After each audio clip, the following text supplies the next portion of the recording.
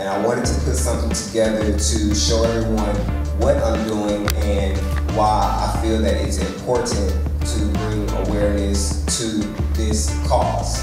Mental health, schizophrenia, bipolar, drug addiction, abuse, neglect. All of these things are represented in the feature length script, and this is just part one of what I would like to bring to you. And this year, we want to raise $20,000 to help make this independent feature film.